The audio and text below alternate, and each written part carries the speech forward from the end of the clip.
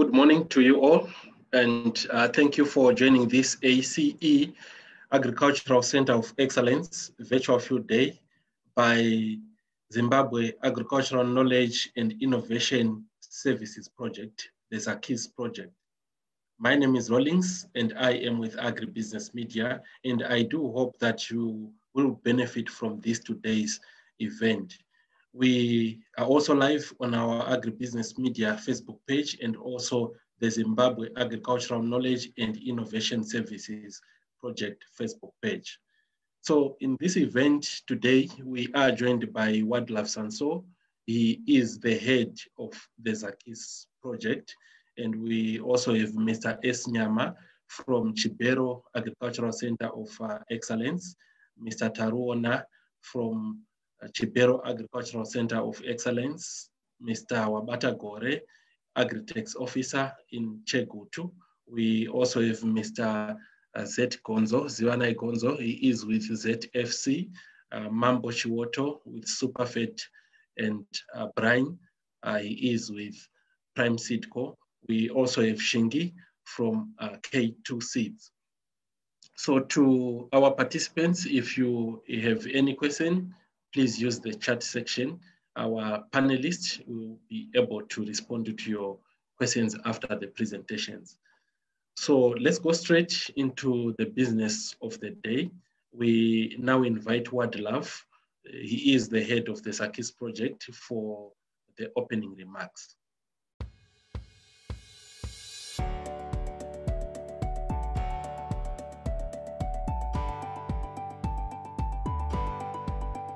Good morning. Welcome to the Agricultural Center of Excellence Field Day. And where I'm located here today is one of the centers of excellence that we have established under the Zimbabwe Agricultural Growth Program. The centers of excellence are at the core of the implementation of the, the ZAKIS program, which is what uh, has brought us uh, here today. And it's funded by the European Union. The idea around the centers of excellence is that they are centers that will demonstrate best practice agriculture um, within uh, the farming community. It does not really matter which uh, farming cluster you come from, whether it's A1, small scale, large scale. The idea is that we use the centers of excellence to demonstrate best practice. I will, before I, I continue, I'll just quickly take you through the ZAKIS program. The ZAKIS program, or the Zimbabwe Agricultural Knowledge and Innovation Services, is is at the core of the establishment of these centers of excellence. And it is it is implemented under four result areas. Um, result area one being uh, the establishment of an enabling environment. That result area of which our centers of excellence are established there's also some policy work under that result area. Result area two is the strengthening of extension services.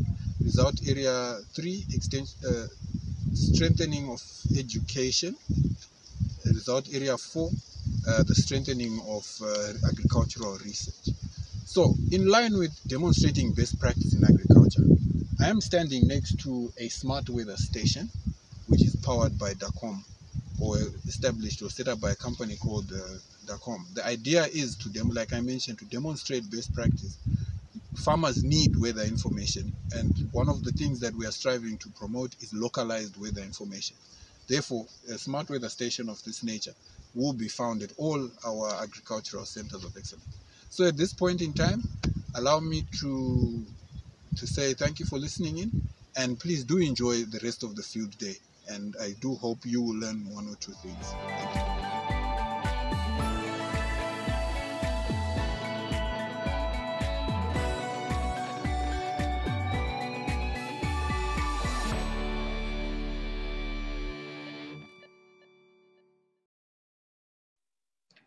Uh, thank you, Wadlav, for the opening remarks.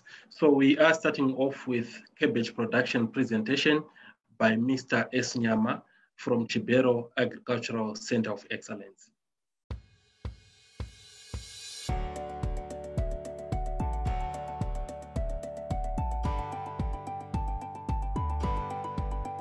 Good day, uh, ladies and gentlemen.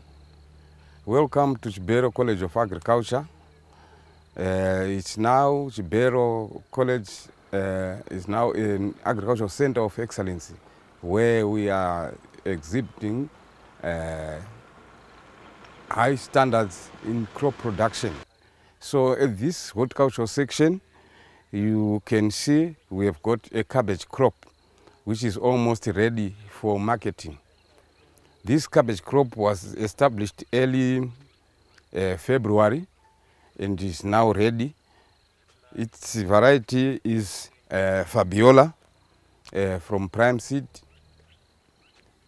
Uh, the cabbage is, uh, takes about 70 days to maturity and uh, it's uh, actually preferred most by farmers.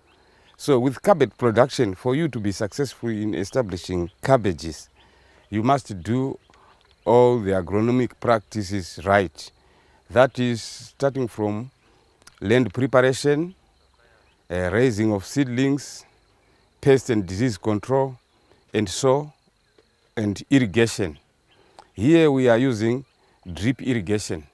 Drip irrigation has got an advantage in that you don't use a lot of water. Water is placed directly where it is required. So here we had the problems of uh, water. But when we started the drip irrigation that was supported by the Zakis program, we started to produce at a very large scale. Like now, we have got 0.2 hectares under uh, irrigation.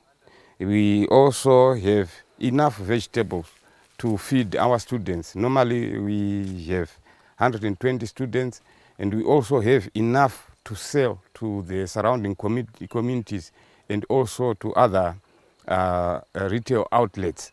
So really, drip irrigation is the way to go, right?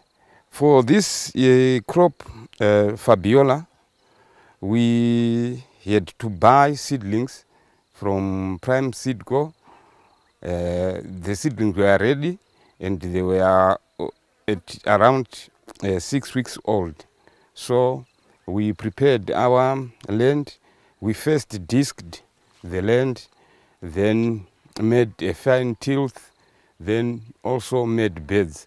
Our beds are 1.2 meters in width and 25 meters long.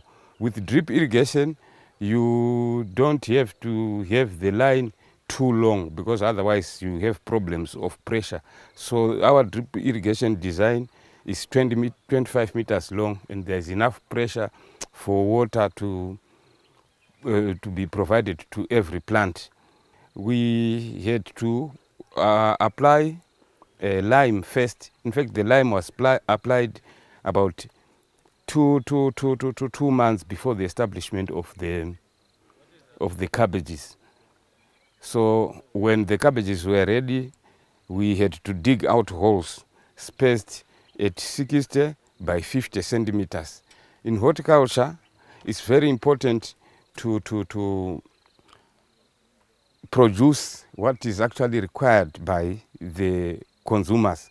Some want small cabbages, some want big cabbages. But if you are aiming at big cabbages, it means you have to space them a little bit far from the other. So we are uh, planning to develop or to grow a cabbage plant that will sell maybe at a dollar. So our spacing is a bit wider, which is 60 by 50 centimeters. But it can also, if you wanted small cabbages, you could also plant it at uh, 50 by 30. But for Fabiola, we used 60 by 50 centimeters. And we produce a cabbage that has got a big head that is actually preferred by our local market. After having dug the planting stations, we came in with a compound fertilizer. We used compound C at a rate of 30 grams per hole. That fertilizer was put in a hole and worked in because if you just place it and then place the plant, the plant might succumb to uh, fertilizer burn. So you have to incorporate it within the rooting zone so that it is not concentrated on one place. Then after that, you, we came in with our transplants, which were from the float bed, and placed them and added a little bit of water so that they don't suffer stress. Then soon after having uh, planted the cabbages, we came in with lambda. Lambda is a synthetic pyrethroid that we use to uh, control pests like um, the, the, the, the, the, cutworm. One important thing with uh, vegetables, because they are so succulent and it was in summer when we did this and there was a lot of uh, rain, the most difficult thing is to control pests. Pests like um, the Bagrada bug, pests like uh, the diamond back moth, those are serious pests on cabbages. So you should be having uh, routine sprays of uh, synthetic pyrethroids to, to, to control those pests because there is a danger when the plant is still small and you don't control pests and they attack the apical um, you have your plant having multiple heads and it will not develop into a head that is marketable. So it's very important that you guard against that and you should also be having uh, some extra seed in case it might be damaged then you can come and gap fill so that you have a uniform crop. Uh, then on fertilizers, that's the most important. Cabbages, they are heavy feeders. They require a lot of uh, this nitrogen fertilizer. So there is a regime that we follow when we are applying uh, a, a top dressing fertilizer, especially ammonium nitrate. Uh, cabbages will respond well and uh, have their full potential if the following fertilizer, top, the, the following top dressing fertilizer regime is followed. The first seven days, you apply five grams of um, AN. Then after another seven days, that is at 14 days, you apply again another five grams. Then at 21 grams, at one, 21 days, you apply again another 5 grams. And at 28 days, you apply the last 5 grams. So all in all, you need about 20 grams. Thereafter, you won't need any more fertilizers. So it's very important that you put or you apply your AN during the first month of the growth of the of the cabbage plant. This will ensure it uh, uses it and uh, expresses its full potential. Just like if you look at this head here, you see it's now very big and we will no longer be using fertilizers. That's uh, for the AN. For the basal fertilizers, like I said, we used cap number 30 that was uh, incorporated into the wall and worked into the soil. For pest control, I've mentioned three pests, the Bagrada bug, uh, the cutworm, and also the aphid. These pests, they need to be controlled on routine basis, which means someone has to come in and do the scouting wherever you are going to see whether the level of infestation warrants a application because sometimes there might be more predators than the pest, then in this case it might not be very necessary for one to apply. But if there are more of those pests and if you quickly come in, then you keep the population of pests suppressed. Horticulture is very intensive and we have to observe a lot of um, uh, hygiene, which would include rotations. It is not actually good practice to be repeating a, a same uh, crop in the same bed. So here where we have these cabbages, last time we had tomato crop.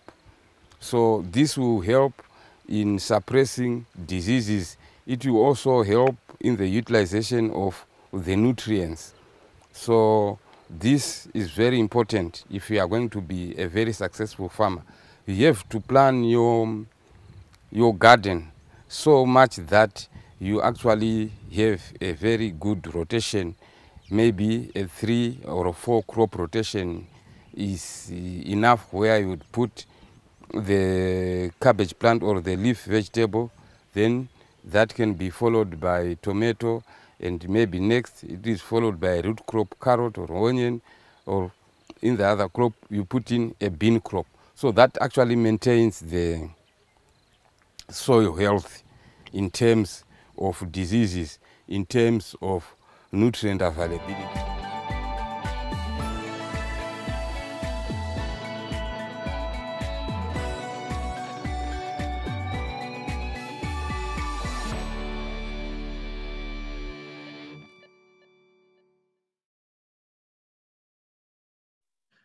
Okay, uh, thank you there, Mr. Nyama, for that great uh, presentation. We will now have comments from uh, the following, or our panelists, and in the following order. We have Brian from Prime Seedco. Uh, he will comment on varietal performance. Then Mambo Chiwoto. Um, okay, we have Mambo Chiwoto uh, from uh, Superfet. Uh, he'll comment on uh, soil health and also Ziwana Gonzo on crop health. So uh, Brian from Prime Seedco, uh, you can go for it. Just two minute uh, comments on cabbage production. And just a reminder to our participants, if you have any question, please just use the chat section and our panelists will be able to respond to your questions uh, after their presentations. Thank you.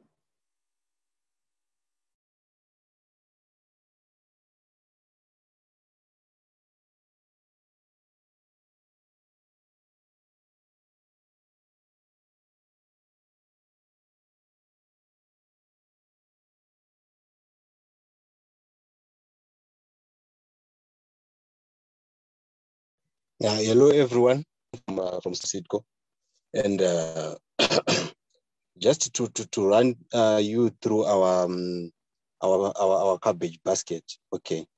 Uh, one would ask, uh, why would I, I, I, I, fall in love with, um, with, with Seedco cabbage varieties, okay?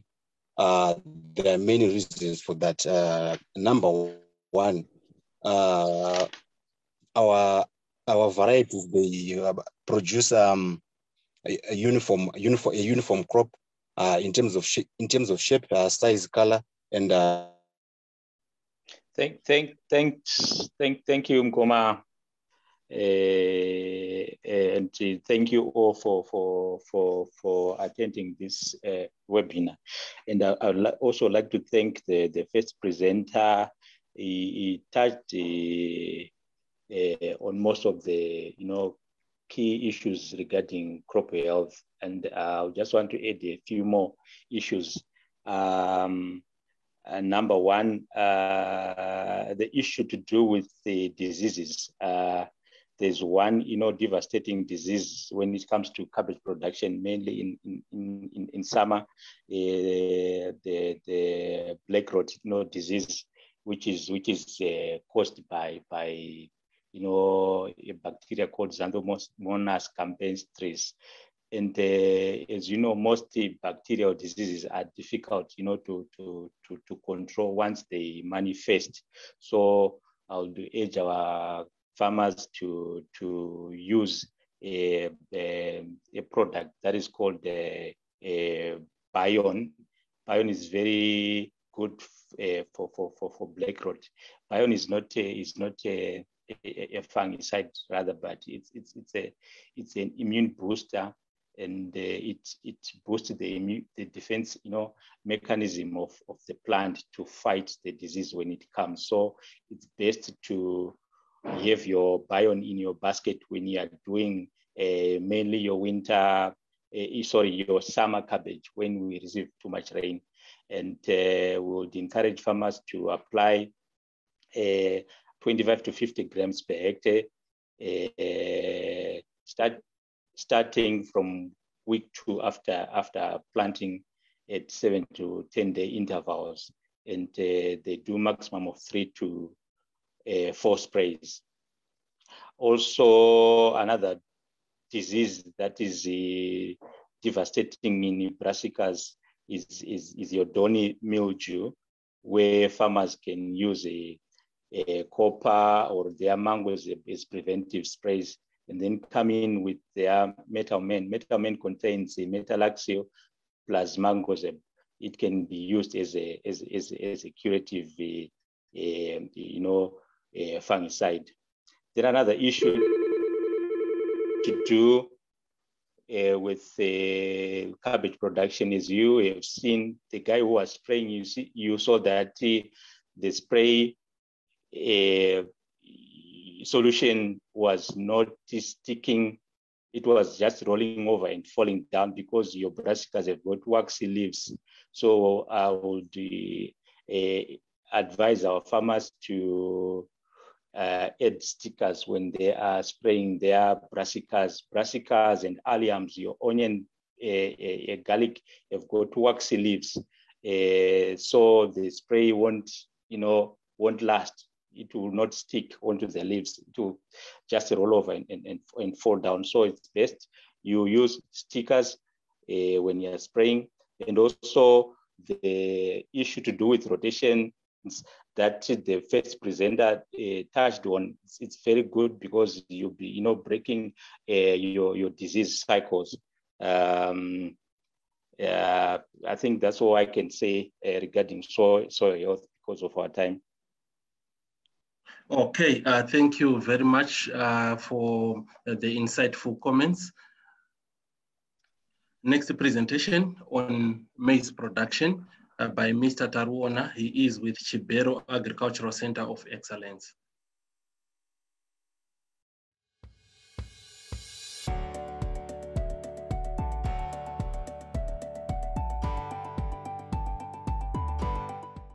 My name is Clemens Taruona.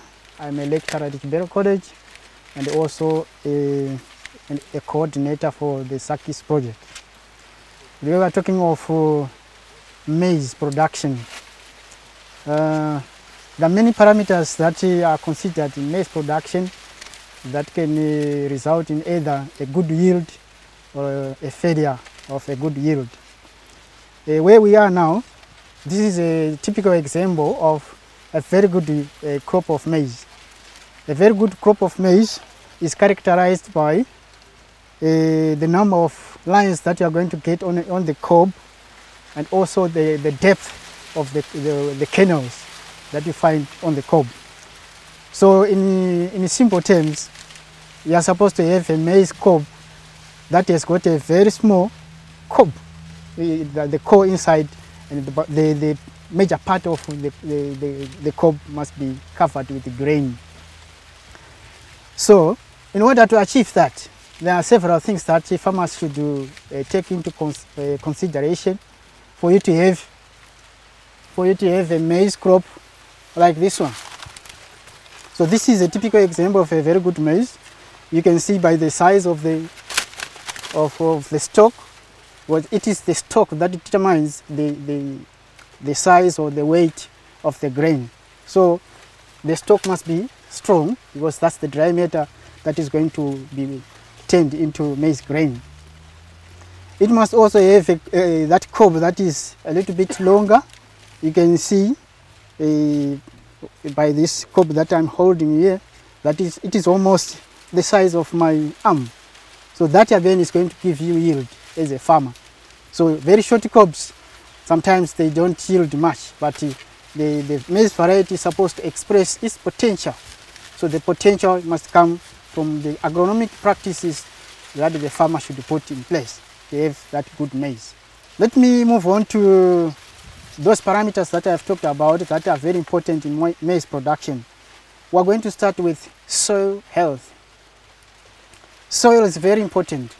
Because it is from the soil that the maize crop is going to get the nutrients that it requires. Before the farmers establish a maize crop, they are supposed to send their, their soils for analysis. Soil analysis is very important. Uh, maybe many farmers disregard that, but that's the starting point of a good crop. The, the soil has to be tested for a variety of nutrients uh, which are inherent in the soil, and also it has to be tested for pH. pH is very critical in soil health. Even if the farmer is going to put a lot of fertilizer, a lot of uh, manure in the field, as long as pH is wrong, the crop is not going to utilize the nutrients. So soil health is very important. So in this field, uh, we applied uh, the general recommendation of, of lime just to condition the soil. So it was about 2,000 kgs per hectare. That's the general recommendation for, for the lime that we used. You can see by the, the soils that these soils are sandy. So sandy soils in Zimbabwe are characterized by a very low acidity.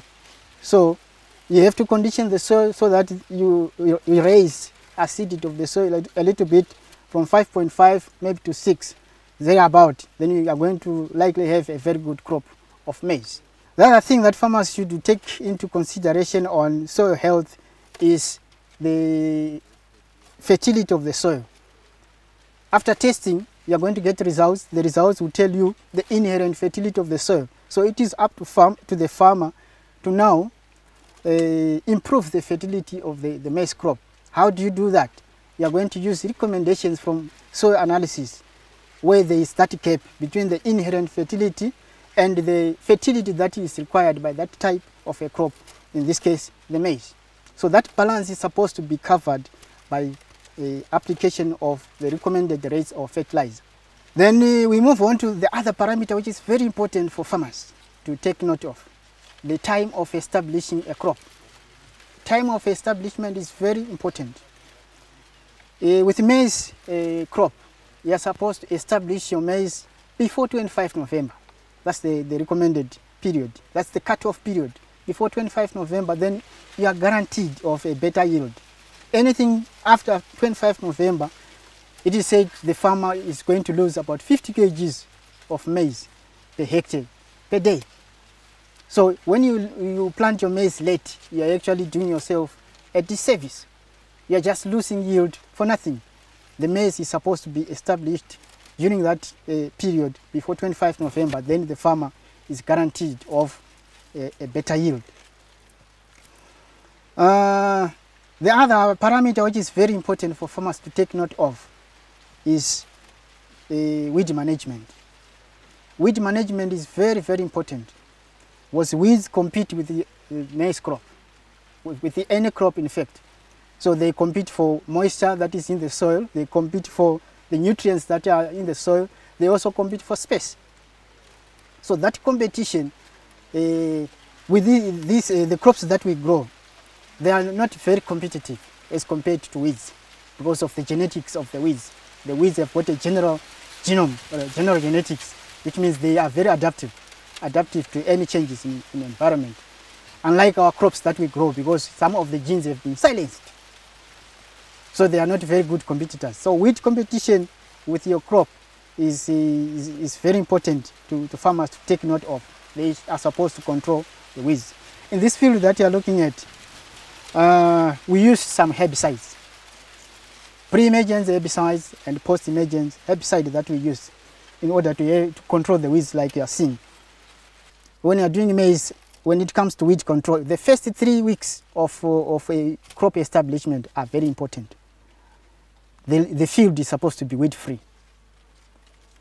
If the field is uh, infested with weeds in the first three weeks, the maize would already uh, have that uh, yield even before you go to the fourth week. The maize would give you the yield that it is capable of producing.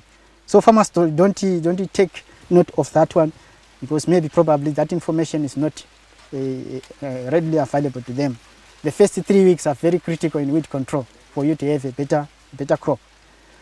The other parameter that farmers are supposed to take note of is uh, pest and disease control.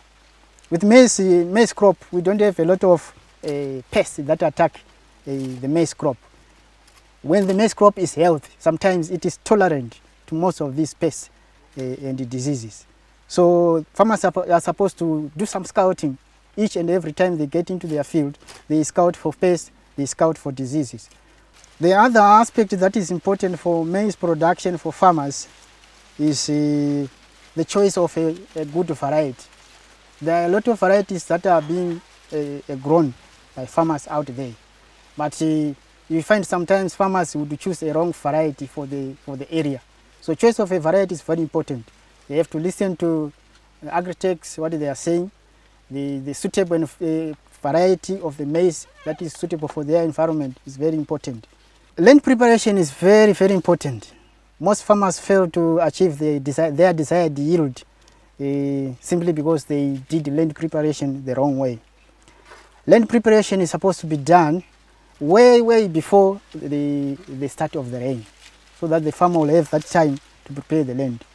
So it is uh, encouraged for farmers maybe soon after harvesting to get into land preparation when the soil is still moist so they can prepare their land soon after harvesting in, in preparation for the, for the next season or the next crop.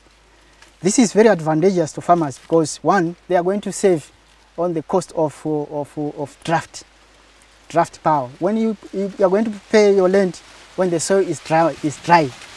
If you are using tractors, you are going to use a lot of diesel. At the same time, you are also going to destroy the soil structure.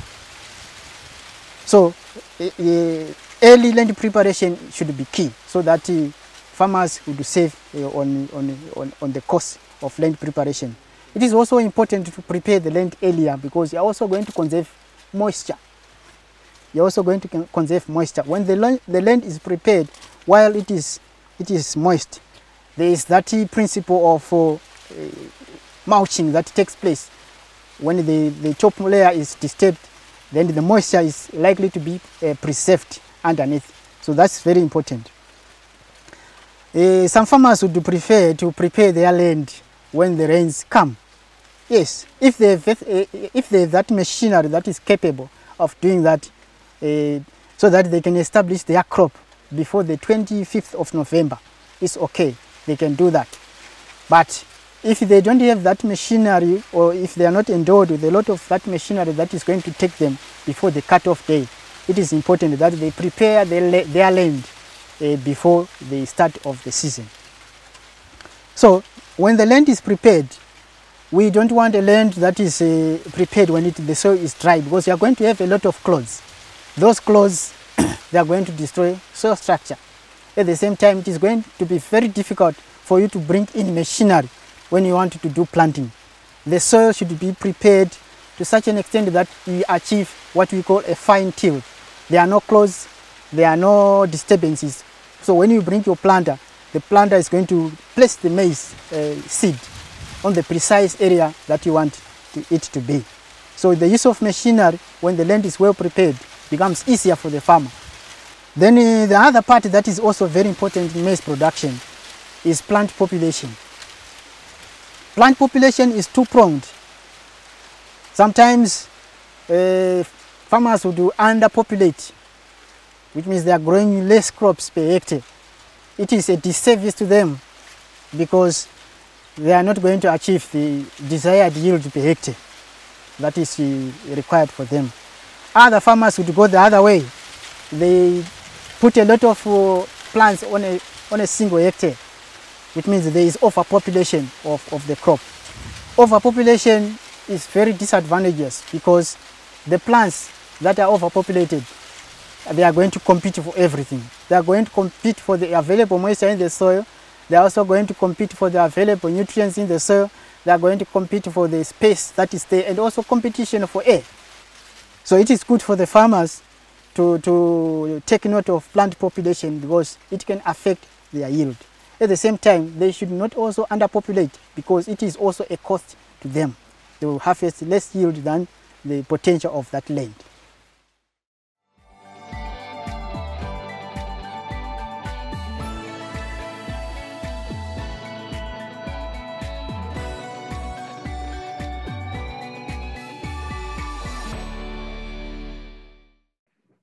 Thank you, Mr. Tarubona, for that great presentation on maize production.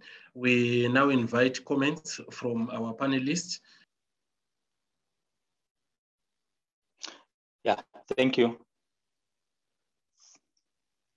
Thank you, Mkoma Rollins. Uh, I would like to thank Mr. Tarubona for a, a lengthy and uh, rich presentation. He touched uh, on most of the areas uh, regarding um, crop health. but I would just want to add a few more, you know, items. First of all, I would like to to to to appreciate what our local, you know, seed houses are doing regarding uh, breeding of good genetics. Uh, you know, in maize, we no longer talk uh, about gray leaf spot and other diseases.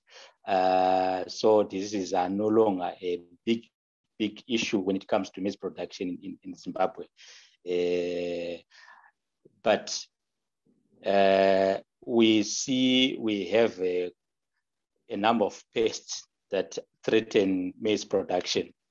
Uh, for example, there are farmers in areas where the populations of white grub are quite high.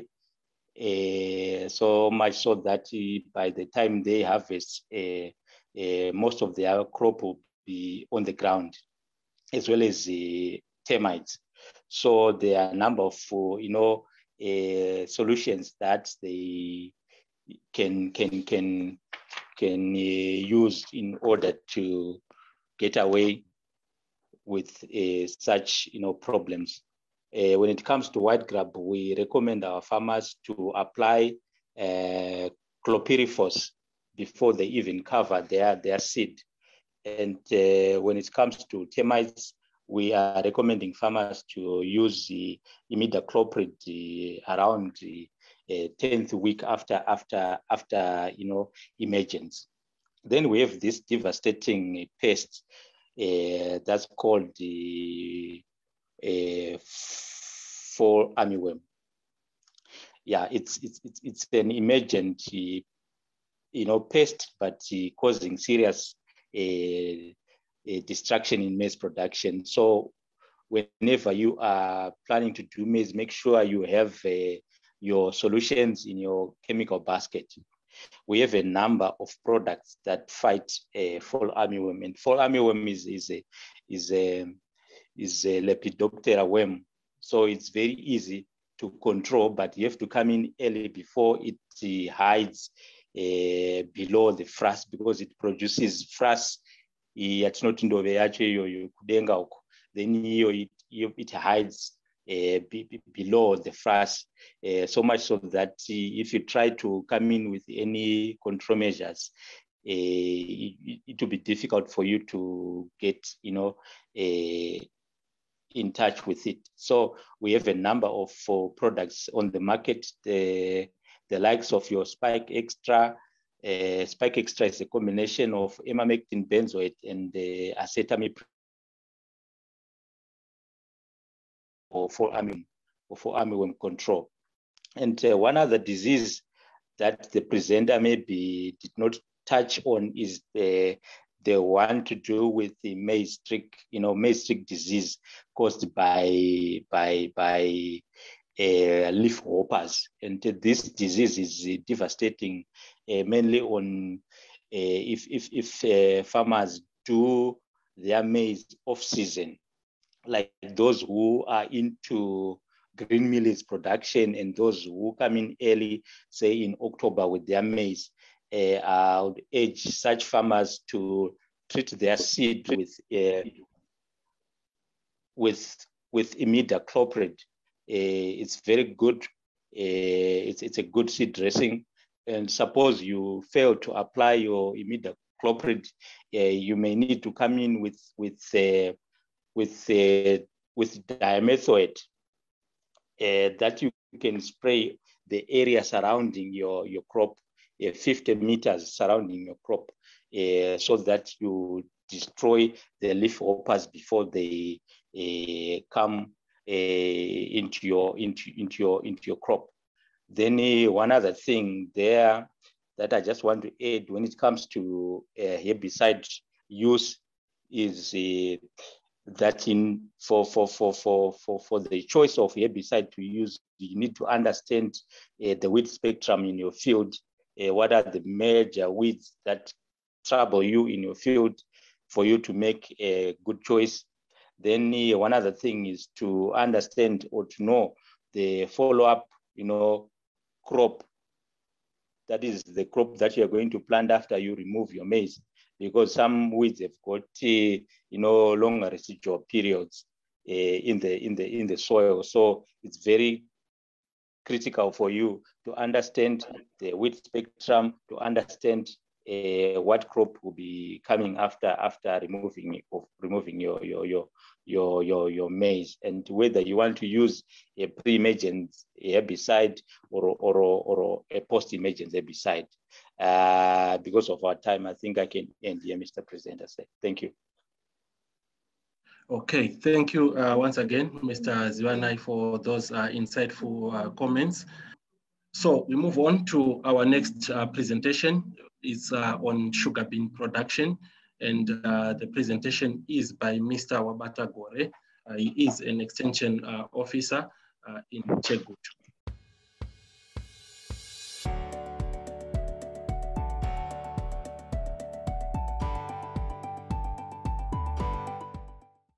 Eh, makadii varini? Ndoda kutambira kuti tose tiri vapenyu. E, toda kutambira zvakare kuti tino mafamba zvakanaka kubva kumatunhu akasiyana siyana kudakara masvika pano. E, handina mazwi mazhinji andoda kuti nditaure asi ndoda kuzivisa kuti enhwe muchidimbu indinobata gore. E, ndiri murimisi asi tiri pano nokuda kwechirongwa chefield day padzingai nhamo cooperative. E, pano patakamira mumunda webhinzi e, regai kuda ndisati ndasvika kuti bhinzi iri rakadyarwa rini uye ivhairati ipi. Regai nditini takatanga kuita land preparation yedu takarima panapa negejo tapedza kurima negejo takadhiska tapedza kudhiska takacheka maraini. Yatinoti raw marking netractor ndiyo yakamaka malaini panapa at about 50 centimeters interrow kana nchiti interrow ndiri kureva the interval kana kuti distance between two lines dzembeu kubva palaini iri kuinda palaini iri. Ndiyo interrow yedu. Saka e, tapedza kucheka maraini. Taka takamwaya fertilizer mumaraini umu. Area yedu generali yebhinzi rino iri is about a hectare we planted about sorry kuda ndota masanganisirwa ndanga ndichipinza kachirungu neshona we, we, we planted at a seed rate of about 100 kgs per hectare. So this is in, in, in, in, in, in seed rate about 100 kgs of seed used here. Vairati yedu panapa iri bound ndiyo yatakadyara panapa right zvakanaka. E, takashandisa fertilizer yedu 85 bags per hectare compound d. Ndiyo yatakashandisa panapa saka takashandisa compound d vamwe vanoti mesfet but generally kuno tinoti compound d because tikati mesfet zvinoreva tiri taenda kupi? Kuchibagwe. Right zvakanaka. Saka bhinzi takaridyara musi wa3 3 march. And uh, this virat is a determinant virat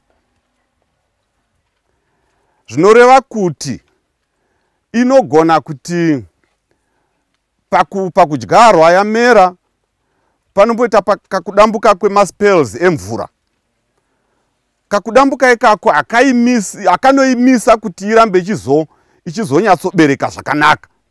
Saka ndo tichiti determinant virate kasi kana yanga iri determinant ndo pataiti isu. Inogona kuti kukamboita kadry spell mvura ikazouya kana kuti pakaita ichallenge yemvura yemoisture.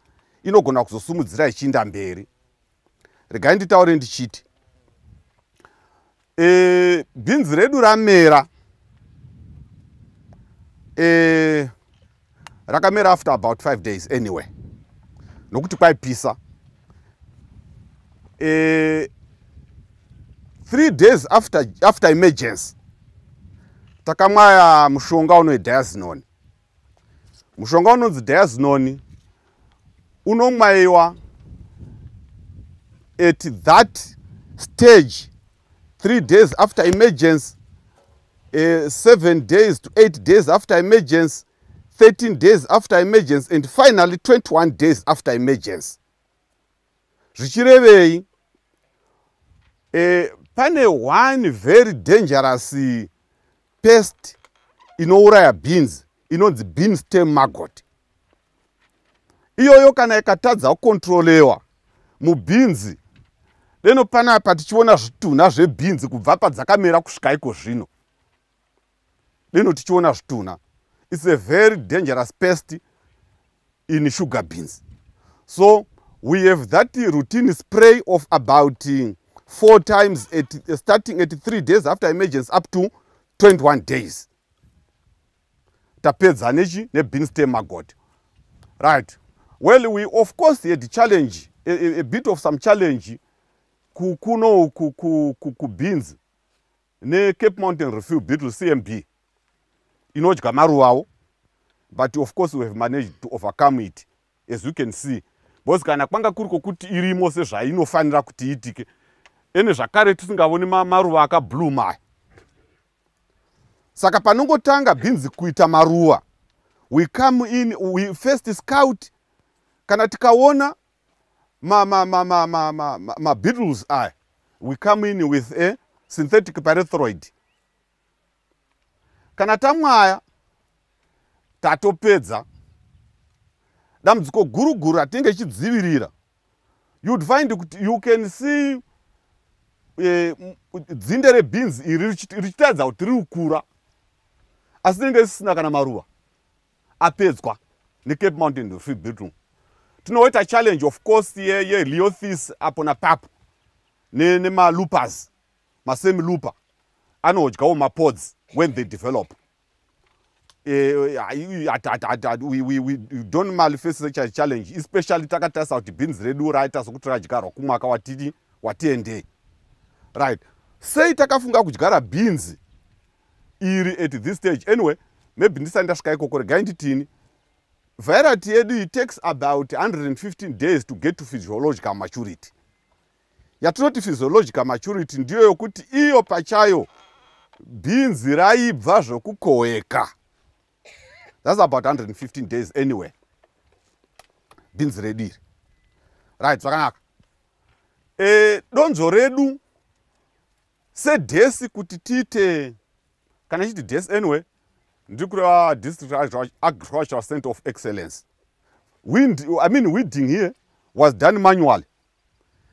Takatoti varimi hatidi kuti titomboshandisa maherbicides toda zvinhu zviri practical and hands on kwamuri. Ndokusaka takati varimi ngatisakurei shuwa pakasakurwa namapadza. Nokuti takamboita kachallenge kesora nokuti bins redu takaridyara during that was soon after the rains because hakuna kumboona mvura inomusoro kubva patakaridyara saka tinonyanyisa weare we upkeeping it nokudini nokutodiridza sezvamuri kuona. Saka yield yedu especially looking at this virat is about 1.2 tons per hectare.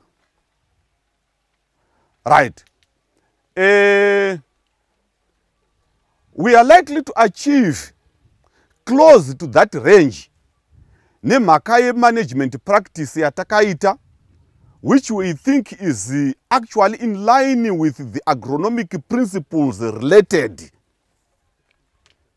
Saka we, we, we are almost to, to, to that level as we assume especially kana tikaramba futi tichinyatsowana tichi mvura ichinyatsodira zvakanaka. In brief ndo mazwi angu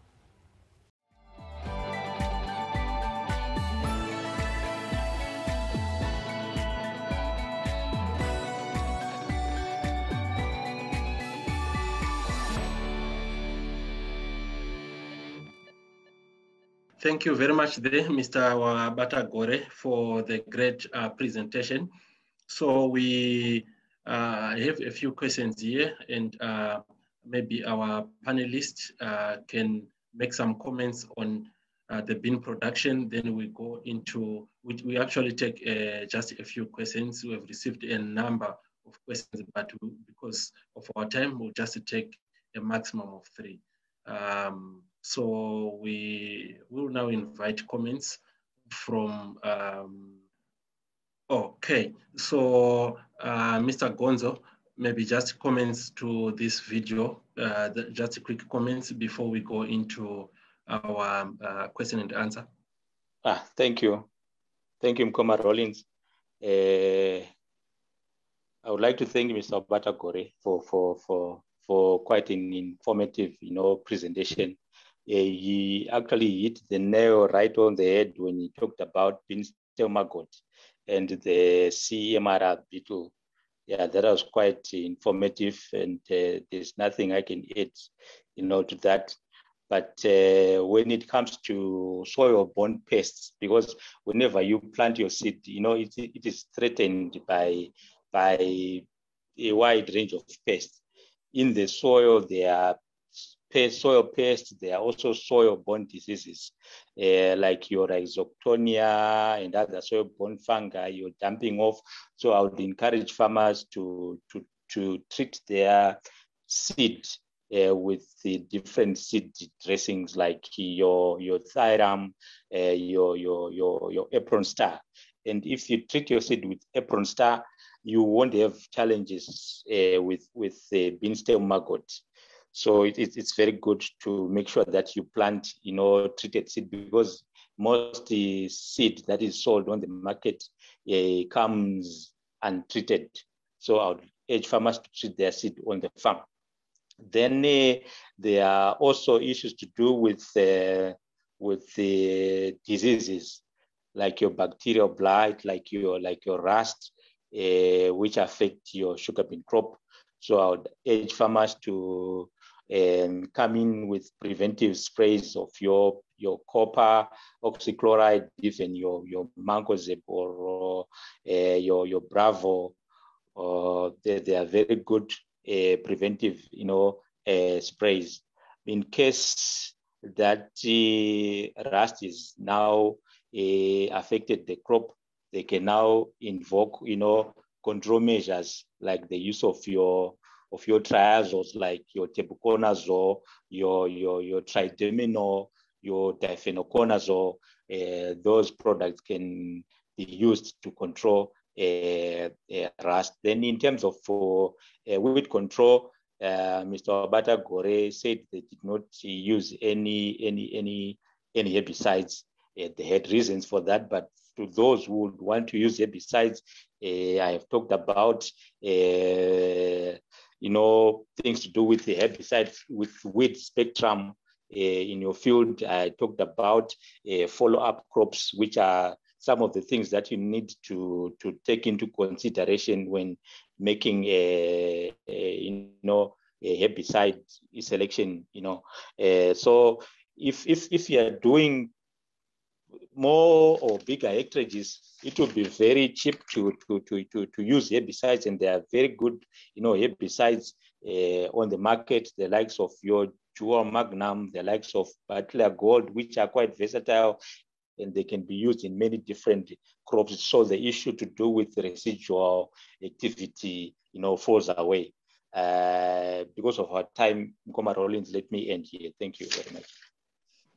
Okay, thank you, uh, Mr. Zivanai, for uh, those insightful comments. And uh, just a quick uh, questions uh, whilst you are still there. We are just we are only taking about three because of our time. Uh, the first one is is compound compound D the best fertilizer for bean production? I think you can take that one, Mr. Gonzo. Oh yes, oh yes, yeah. Compound D is is is uh, is best for for for sugar bean production. Why? Because it does not contain uh, boron. Sugar bean has some sensitivity to boron, so other fertilizers uh, like your your your tobacco fertilizers, your your oil seeds fertilizers like your compound L, your soya blend, have got boron.